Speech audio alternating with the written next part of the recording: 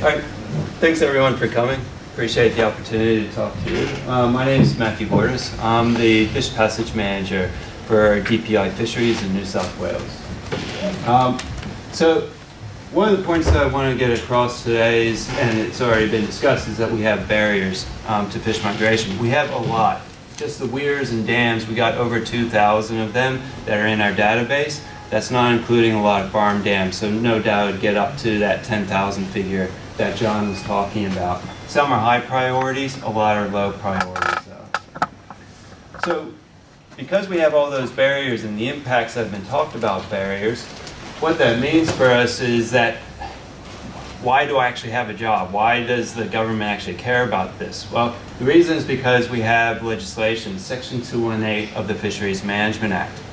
And the relevant sections is the, the first point, which says that an asset owner that um, constructs, alters, or modifies a, a dam, weir, or a reservoir must, if the minister so requests, construct a suitable fishway. And I have suitable underlined because that's the actual wording in the legislation. It doesn't actually say what suitable is, but it says it has to be suitable. Another point is that if you actually build it, then it's your responsibility to maintain it and to repair it. So it's not something where you can just build it and, oh, I met the legislation, now I don't have to do anything more for it. Now, in the legislation, it says that if the minister requires, you must actually build it, uh, maintain it. And really the intent of Section 218 was first off to um, limit any future impacts to fish migration, so any new structures. We don't have too many dams and weirs being constructed now. Most of them were built um, in the 70s and 80s and, and before that. One of the main intents was that for all those existing 2,000 some dams and weirs around the state, we want to eventually fix them up, fix up fish passage as they come up for major refurbishment works. They weren't going to require all those owners all of a sudden to just put fishways in, but when they come up for major refurbishment, that's when we wanted to be able to get these fishways constructed. So that's the intent of the legislation. And that's why in New South Wales at least there's a big emphasis for asset owners to actually um, focus on fish passage and fishways. So in New South Wales, um, as I said, there's that suitable fishways. I've listed here the, the main suitable fishways. So rock ramps are the most um, common fishway that has been constructed in the state. In the technical fishways, the vertical slot is the next most common. Um, and then we have a few locks and a few Denils. We have some other ones that Martin talked about, but only one or two of them, and they're not very common. And for most of them, we don't have the monitoring yet to show that they we know what the hydraulics are, but we don't have the monitoring to say that, yes, they're passing these species and, and these fish. And what I'd like to say to you is, all right, it says suitable fishways, and you as an engineer want to know, all right, well, what's suitable? What are the design requirements for that? The difficulty is in New South Wales yet, we don't actually have guidelines, engineering guidelines to say the turbulence must be this, the head loss must be this we, we know what it is, and when we're working with an asset owner, we give those across, but we don't actually have something in policy that actually says this is what it is. In Victoria, they do. They recently came out this past year. So if you want to find those, just type into Google Victorian Fish Passage Guidelines, and it'll come up with the Arthur Rylah Institute guidelines. But in New South Wales, we're working towards it. We just don't have it yet, unfortunately. Um, so as I said, we have rock ramps, um, vertical slots, locks, um, and we have about 130 of them uh, fishways around the state that have been constructed, and I'm using the ones that have been constructed after 1985 because all the ones before that didn't work, and there's about 40 of them in New South Wales. So I'm going to first start off with the fact that fishways pass fish, and they can pass a lot of fish. In the Murray um, they have uh, 15 fishways on the main stem Murray River, and it's been shown through research and monitoring that they pass over a million medium and large bodied fish each year. If we looked at the small bodied fish as well, it would be vastly larger than that. Um, the reason I know that is because at, um, at, at, the Murray Lock 8 vertical slot, um, they reduced the depths there, um, and they got over 80,000 um, fish getting through it within one day, and most of them were these small body fish moving up in mass here. We also know quite well that lock fishways work really well, especially at passing small body fish. At Euston on the Murray River, um, uh, research there showed that pretty much daily um, during the two weeks that monitoring is occurring, they're getting 25,000 fish going through that fishway. Most of them, again, were these small body fish, but they are also getting some larger body fish as well. So that we know that they work. Um, this is a, a, ping diagram. This is for a fishway on the Lachlan River. Um, the D1, um, so the D1 here represents an antenna at the entrance of the fishway. D3 represents the, uh, the exit fishway, uh, um, exit of the fishway. There's an antenna also in the middle of the fishway. We put a tag in the fish similar to what you put in your cats and dogs, and we can monitor when they approach the fishway and how quickly they ascend up through. And what you can see from this ping diagram is just about every fish that came to the fishway entered and quickly ascended up. This was a vertical slot fishway. This is why we have confidence in knowing that vertical slot fishways work, because they pass, as long as the fish, as Martin was saying, enter into the fishway, then just about all the fish actually pass through. This is one of my favorite ones. I call it the daily cod. This is one cod at that same fishway. And at 6 in the morning, it would ascend the fishway, and at 6 in the evening, it would descend the fishway. And it did that for about a month and a half period, over 40 times. Sometimes we've actually recorded, um, especially cod and these predators, staying within the fishway. It's like a, buffet line. They just sit there and the fish come to them and they can just eat them. But I found this really, really quite interesting. But again, it just shows how easy it is once the fish gets in to be able to use these fishways. I'll just see if I can. Oh. Let me just see.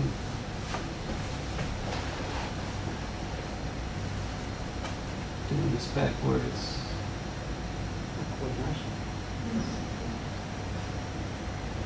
Work. I think I got your disease, right?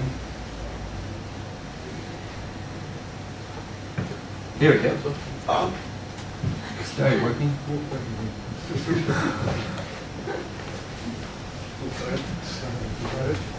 Just see if we, this is just a rock ramp fishway. Um, and what it will show is a bunch of fish that are approaching. There we go, yep. Um, so a bunch of fish that are approaching it. These are juvenile mullet. Um, you're going to see uh, these are, are smelt. This is the exit of the fishway. So they've made all their way up through. You can see how quickly they're zipping through. So we know again that these fishways are working. That's the only one that I have. We also know that if you're able to pass fish, it makes a huge difference to those fish populations. And so this is on the Penobscot River up in Maine.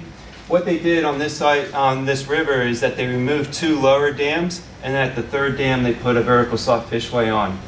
Now, these are the years before they actually did the works. In 2012, they had 52 river herring approach that um, dam that had the vertical slot fishway on it.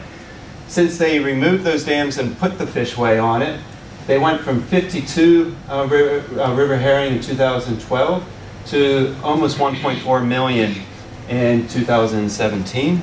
And in last year, 2000, oh, sorry, this year in 2018, they got 2.2 million adults returning. So this is a massive change. This is not accounting for the 50 to 100 million juveniles that are going back out into the ecosystem. These are just the adults that are returning. So we know that it can make a huge difference if you allow fish to get where they want to go. Now, the reason I started off my talk talking about the fact that we know that they work and that can make a big difference is because I'm going to spend the rest of my talk about what actually goes wrong with fishways. And as I said, they're, they're um, not something you can just build and, and just forget about. They actually take a lot of operation and maintenance in some cases to make sure that we achieve these wins that we know that we can get. So I'm just going to talk about, for various fishway designs, construction, operation, maintenance, and cost implications for them. So I'll start with the rock ramp fishways. So um, some of the advantages of them is that they work over the great operating range. They actually have one of the best, they have the best entrance of the fishway because the fish will just come up and um, uh, they'll be able to find it. Um, there are some limitations though. First off, they generally can um, only go uh, on weirs up to a height of about two meters. Um, they're uh, not as effective generally if they're on, say, a four meter high structure. In that case, you'd want to switch over to a vertical slot. Also, on a, a wide waterway, um, uh, you're going to have a, a, a, large amount of rock that you're going to have to place in there, and that starts bumping up your cost as well. They're also very difficult um, for a full width rock ramp fishway to build because you're building in the middle of a river, and a river is dynamic and it's going to flood, and contractors don't like that, that because that's risk, and, and that adds a bit of complexities to it. Um, and so they, they can be quite difficult in that, that perspective versus building something on the bank. Just to give you a perspective, this is a person here. So you can see that these are, are very large rocks that we're using. They're not small rocks. Um, maintenance and debris, I'll talk about those. But as Martin said, this is not something where you just dump rock and, oh, it's good, we're ready to go on. Now, the whole thing is a big jigsaw puzzle, and it takes a long time. So you're thinking a contractor trying to quote for this, and they need to work in stream, and they're going to be there for a while because they're placing every single rock individually, because each rock needs to be pushing on the other rock, especially for these ridge rocks for which you get your head loss over. They need to be supporting these ridge rock, these pool rocks need to be supporting that ridge rock. And the contractor needs to go out and select these individual rocks so that he gets the right rocks to be able to get the right movement of water through the fishway. It's not easy to do. And he has to make sure, using these irregular shapes, that he gets these consistent head losses, 100 mils, over each one of these ridges. And that's really difficult because if you get one wrong, the only time that you're going to know is uh, right or wrong is after you've done building it and you let the water through. And if you get one wrong, it's kind of hard to fix because if you fix one, that has influences of what's happening at the ridge upstream of it. And so it, it's really a, a huge, huge complex jigsaw puzzle for the contractors. Another issue is that um, with that headloss consistency is that if you don't build it well enough, and as Martin was saying in his, his there's some contractors out there really good, but if they don't build it well enough, those rocks move. And so at the top end of this fishway here, this rock ramp, those rocks moved. And so you can't see any of those really consistent head losses, and most of those pools have vanished. And you can't just easily fix this. You pretty much have to rebuild that fishway. Here's another one where the rocks that were used were too small, and so they washed away along the sides here. But the other issue at this site which is very common at the rock ramp fishways, is that because you have these ridges that are sitting out of the water, and most of the time the flow is quite low, you get huge amounts of debris accumulation at the top. When we went out and we assessed, last year we assessed all the fishways around New South Wales, just about every single rock ramp fishway that we went to that had these high ridges was collecting debris, and I would spend a good part of 50, uh, a half an hour to an hour pulling out all the debris because this is what it looks like afterwards. So that's how it's supposed to do, but a lot of these fishways are in rural settings. There's no one there manning it. There's no one there that's actively uh, maintaining it. And so, except for when someone comes along and, and pulls it out or a high flow comes along that pushes that debris, instead what it does is it pushes the water flow um, in shallow water flow, which is hard for large fish to get past upstream. Another issue that Martin talked about is you try to build these fishways 300 mils below um, the downstream water level. But at this site we did that and then ma massive flood came and dropped the tailwater by a meter. And all of a sudden our rock ramp, our, our, toe is exposed. If that starts eroding away, the rest of the fishway will go. And so it's good to use sheet piling at the base there to really lock it in. And in the worst cases, you get complete failure where the bulk of the fishway just washes away, um, primarily using rock that isn't of suitable size. So with that going out and seeing those, what we now in, in fisheries, DPI fisheries, a design that we really like, and Martin showed an example of this, um, is uh, a V-shaped prefab rock ramp fishway. So the V-shape, the reason that we like that is because you get this higher velocity down the middle, middle, which isn't great for fish.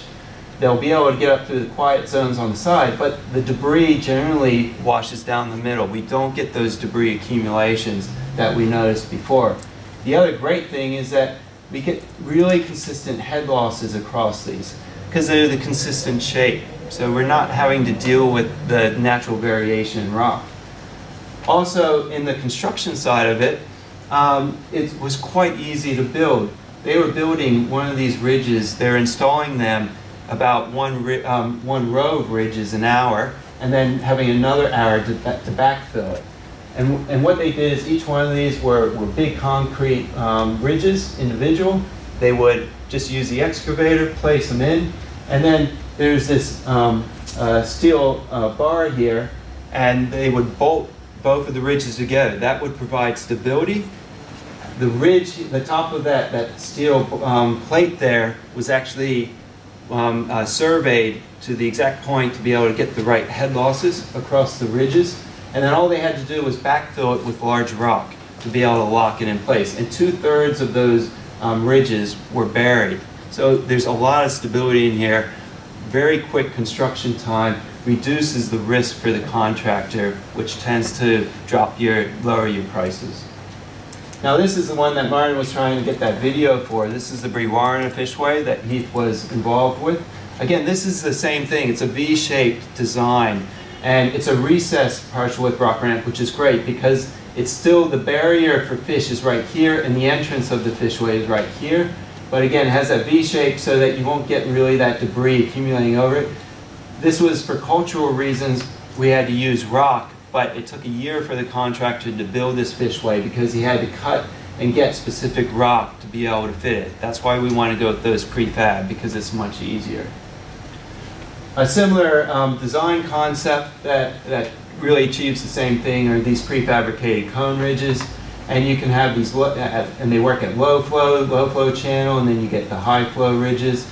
I would prefer to see these um, at low flow, these ridges a bit lower, because again, they're going to accumulate that debris um, at the top one or two ridges. So I'm going to go on to now to the vertical slot design and issues that we have there great, great advantages to them. They're, on the technical side, they're generally for weirs between one to seven meters, the go-to design, generally. The issues with them is that they, they're generally built on a 1 in 20, 1 in 30 slope. That's pretty much fixed. You can't go um, steeper than that because then the turbulence and velocity criteria exceeds what the fish are able to swim up through. And so because of that, they have a really large footprint and generally they're made out of concrete, which means that they have a really high cost to them. Um, the asset owners, that becomes a bit of a barrier for them.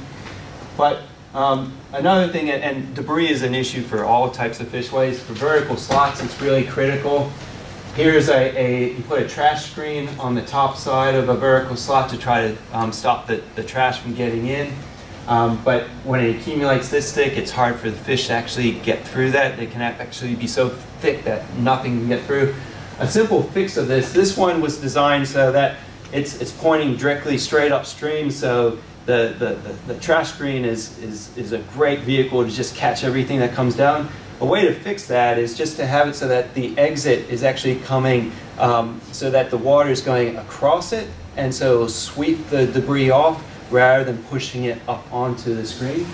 And the reason that we need to do that is because we have, these are the slots inside of a, a, a fishway, quite a narrow thing. They're great for debris to get caught on. Once debris gets caught in those slots, then the hydraulics change and that affects the ability of fish to go through. Things like plastic bottles love to lodge themselves in those. So it's critical to stop the debris from getting into there. Another thing, this was a, a really important point that Martin mentioned, is that you need to be able to get um, your entrances correct. But just because en the entrance for the fishway is here and another one here, these are two different ones. These are, this is moderate flow. This isn't even a high discharge. This is the Darling River here. And you can see the turbulence here. And this is when the fish are going to want to be getting up through, but they're just not going to be able to get up to that entrance. So we need to be able to work once they're built, minor modifications might need to be made where we maybe put a small nib wall here to push this water away so that the fish will be able to easily get into the fishway. This is quite uncommon. I don't want to make it out like all these fishways are, are failing. But this does happen. We have a handful of sites where we've identified it, and it's an easy fix once we've identified it. And that's why you want to do monitoring at the fishways as well. This does a good job of showing you what I was talking about, getting those entrance conditions and the flows right. This is at a regulating structure, and this is where we are walk, uh, working with the asset owner to see how we could manage it. Here we put all the flows um, through, through one gate, and you can see the high, um, high turbines. The fish are going to accumulate here away from the fishway entrance.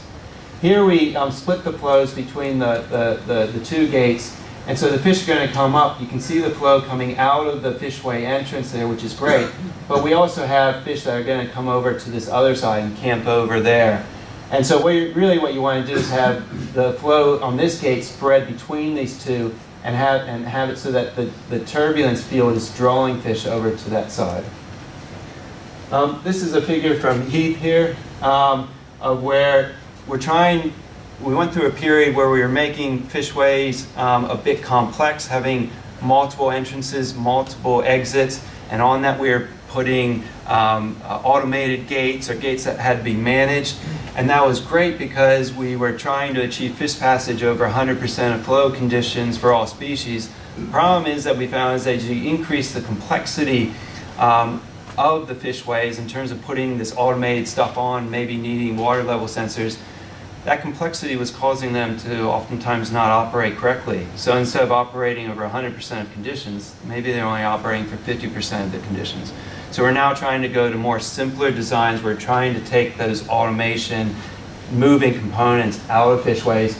And so he, and also working with Martin on this, trying to design the baffles, different height baffles, and different size slots is what Martin was saying, to be able to achieve the outcome. We still have two entrances here. One's here, and one's here at the, the base of the fishway.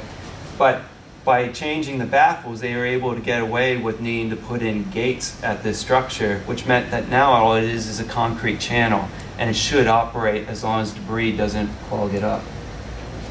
I'll just quickly go through lock fishways. Um, as Martin said, they, they should in theory work. The issue is that you need power at the site and they have a lot of complexity with them. They have gates that are moving every 20 minutes or an hour. Um, 24 hours a day that need sensors of upstream and downstream water levels. They have valves, they have PLC codes, um, and there's errors that happen with that that shut it down for no good reason. And so, despite the fact that we know when they're working that they work great, we have five lock fishways in New South Wales and none of them are working. And, and so that's, that's an issue that you know, we need your help as engineers because we know that they work biologically and a lot of times these should just be easy fixes. One of the main issues is um, a lot of the gates have a, a rising stem on them. Um, they, they put grease on it for obvious reasons, but this isn't a clean environment, so that grease collects a whole bunch of grit.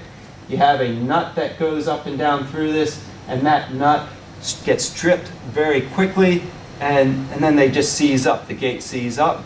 And given that there's oftentimes two, three, four, five gates at each one of these locks, they're seizing up all the time, and these cost a fair amount of money for the asset owner to replace. So at Water News, uh, uh sorry, SA Water, what they did is they put a jet around it to keep it clean, and that seems to have fixed um, these rising spindle issues.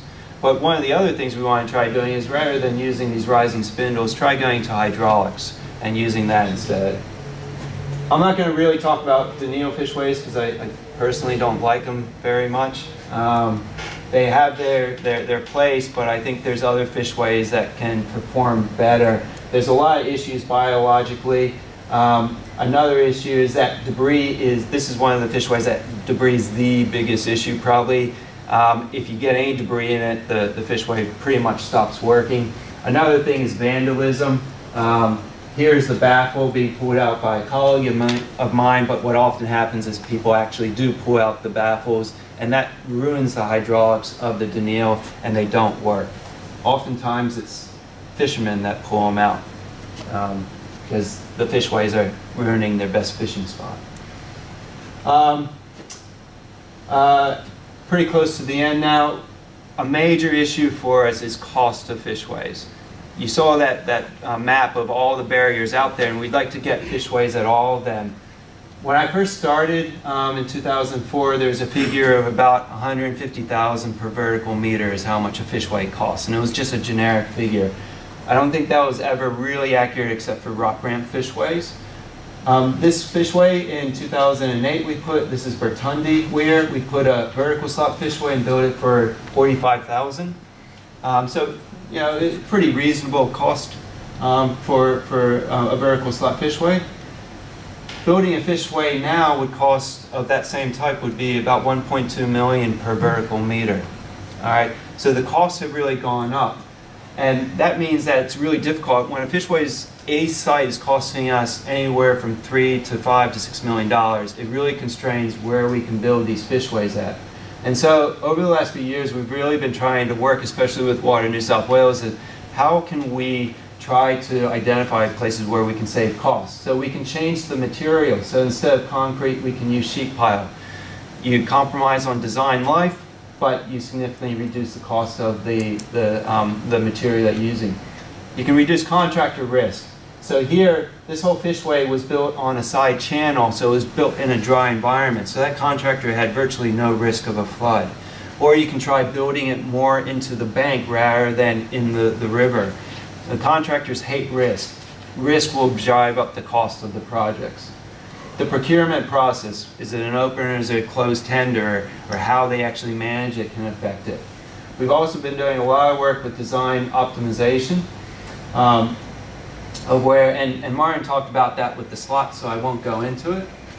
Um, prefabrication and um, novel designs, I'm just going to touch on that briefly. So this is a design that was developed over in um, uh, Austria. It's a prefabricated fishway. It's very similar to a vertical slot in design, but they prefabricated it and they built um, 50 of these over the last three years um, because they can just pull them in and drop them in and, and construct them. We don't have a, a, prefabricated vertical or design like this over here. Now there's some places where it's not feasible to do that, but it's something to look into. Um, I'm not sure if you ever heard of the salmon cannon. Um, this was developed over in the States. Um, in the fish passage community, videos of these came out a few years ago, and we all chuckled about it, and oh, that's funny. And I've actually visited them, and look, it's similar to John's um, a fish pump in the concept of it. And after visiting them, and, and, and the cost of it, I think it's worth having a really good go at it. Because what happens is the fish on the right bottom right hand figure here comes into the fishway. It goes through a sampler that takes 19 photos of it. Um, that identifies whether it's a trout or a salmon or a pest species and can split it off in an instant. And then it sends it through these, these um, sleeves up over the, the barrier. This is Cle Elum Dam. It's a 60 meter high dam. Um, uh, John, I think, mentioned how much um, Tallowa Dam cost to put a lift fishway there, 40 some million dollars. This cost them $2 million and takes them 60 seconds to um, shoot the, the fish over the structure. And that's, the, that's just their initial trial one. So when they actually would get up to production, you'd imagine that cost would come down. The other nice thing about this one and John's one is that once they enter in the fishway, once they get into that sleeve, it's a 100% success rate of fish getting up over. Where in a vertical slot, they may enter and get up halfway through and go, oh, I don't like this, and turn around, and so you don't get a 100% success rate. Here, it's 100% that they go up. But there's still, there's moving parts with this. It's never not been tested over here in Australia where our fish go. You can't actually use this on small, small bodied fish. That's another limitation. It has to be over 150, 200 mils in size. So that's a consideration as well. I'm going to end up today talking about um, uh, a task force that the minister set up. Fishways are expensive. Um, there's a lot of barriers out there. Uh, he wanted us to get more, the department and, and the fish passage community, get a bit more um, coordinated of how we're actually addressing fishways. The reason for this is this is what we've built over the last 20 years. The blue highlights um, the main stem rivers that have been opened up because of these fishways. And Section 218 is a great legislative vehicle to be able to get asset owners to build fishways, but it's not coordinated. It's opportunistic. It's when they're doing refurbishment works. And so what we get is we get a hodgepodge of sites that aren't connected together. And, and just to put this in a, in a somewhat hypothetical but real life example, this is the Murrumbidgee River. You got two large dams at the top. And say you start off with Yanco Weir and you put a fishway at that site in 2020, and then Balranald in 2025, and you think, wow, that's great. But it's, you really want to be achieving catchment, river-wide fish passage for fish to migrate. You got Gogeldrie here in Red Bank, um, and, and, right now, because of all the fishways in, um, in the Murray, we got free fish passage in the Murray and the Edward River, but they're not able to take advantage of getting into the Murrumbidgee until 2050 and 2060 40 years after the first fishway has been built because of the reactive nature that Section 218 is applied. And what we're proposing for the next 20 years is to take a strategic approach. And rather than doing it piecemeal, we've identified that on the main stem rivers, below the, the, the large storage dams, there's only 160 barriers. That's it. And so our proposal is to deal with those 160 structures. And with that, instead of having those little snippets of blue around the place, we'll be able to provide connectivity all the way up and down our major river systems. Um, that's what I was talking about there. One of the key things that we want to achieve with the, um, the task force and the strategy that we developed is to optimize the cost effectiveness of fishways because the more expensive they are, the less that we can do. And that's really where we need the engineers to come in work with the biologists and get those cost-effective designs. I'm just going to end with the fact that um, uh, I'm co-chairing a conference at the end of this year in Albury. It's the International Fish Passage Conference. Uh, it's the first time it's ever been in Australia. It's the first time it's ever been in the Southern Hemisphere. It probably won't be here again for another 15, 20 years. If you're interested in this, it's going to be in Albury. Um, I highly recommend that you come. Uh, you just listen. I, I don't want to, you know, not have you come because one of the keynote speakers, Martin, has uh, is, um, you know, are, you've already heard him. But um, it's a great opportunity to hear all these wonderful things that are happening around the world. Um, and it, it's, I find it quite an applied and, and useful conference. So if you have any questions about that, that's the conference website, the fish passage at uh, umass.edu. Um, otherwise, happy for you to contact me if you have any questions.